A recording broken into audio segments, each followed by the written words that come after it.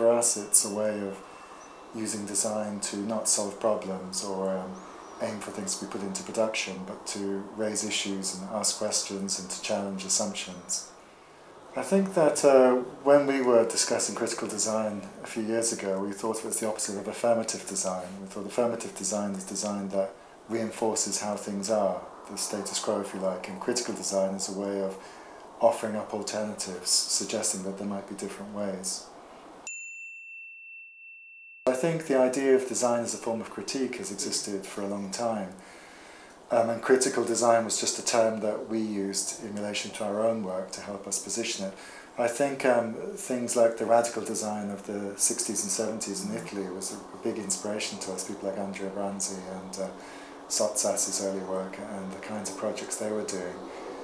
And, uh, and in architecture too, yeah. you know, Superstudio, we're really influenced by Archigram, all those um, thinking of different kinds of ways in which you might live. Um, I think we're very influenced by those movements. I think for us that was probably our starting point. Mm. You know, when we, you know, obviously you, when you're studying, you look at the whole range of historical precedents. But for us, we got excited at what was happening at that period in design history and those ideas of critiquing the existing social and economic structures and so on, and that was our starting point. I think the project Hertzian Tales was probably the first one, wasn't it, that we started exploring that. Mm. And there specifically, we were interested in how, you know, the world was filling up with electronic products um, that were providing very limited experiences. They were allowing us to, you know, talk to each other via the telephone and so on, or process information. But the range of emotional possibilities were extremely narrow. And we, the and Tales project was meant to sort of draw attention to that narrowness through a variety of design proposals like the Faraday chair and the Thief of Affection and so on, and offer up alternatives to how electronic products could give us much richer and more challenging experiences. And again, it wasn't a kind of a, an anti-statement or an aggressive attack, it's much more just kind of, you know, hey, things could be like this, things could be much more interesting, much more challenging, and hoping that our examples sitting alongside the more normal ones would um, you know open up this discussion. I think the Weeds Aliens and Other Stories project is a good example too because with Hertzian Tales we found, although it was done about 10 years ago, we found it was quite abstract and people found it hard to understand exactly often what the critique was about because electronic technology was still quite um, something quite special. And the Weeds project, we really were taking furniture quite consciously to say, well, you know, if we, if we design according to a different set of values, it becomes clear that um, there are other possibilities. So, you know, why continue to design tables and chairs and shelves and bookcases um, at the end of the 20th century? And so that project was about trying to design a world of furniture, into the world of furniture, that responded to much more personal obsessions and poetic needs. And by doing that, hope that kind of gently critiqued the narrowness of, of mainstream furniture design that in our eyes was obsessed with style and materials and production and things like that.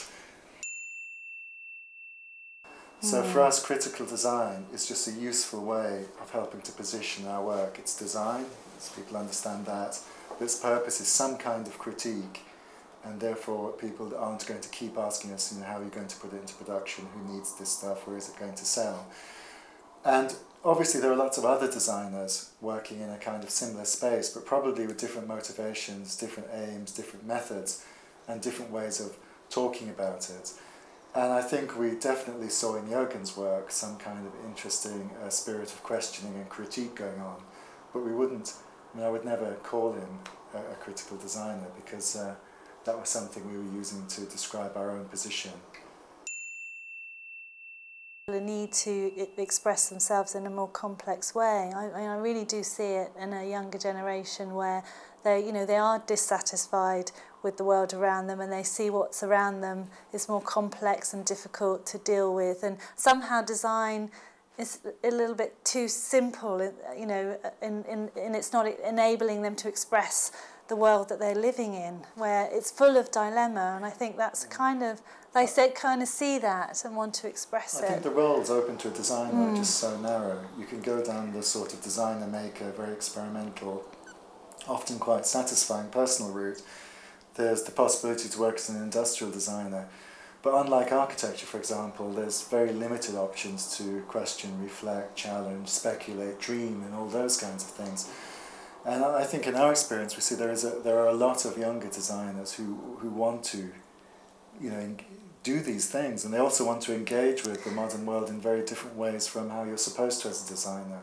But I think the questions that we can ask today are so you can't. There aren't any answers anymore. It's so complex that you can't just come up with a nice solution. So I think in many ways that's another reason why it's it's becoming more interesting for younger people because it enables people to ask more broader questions about the way that we live in society and start to question the values that are in society using design.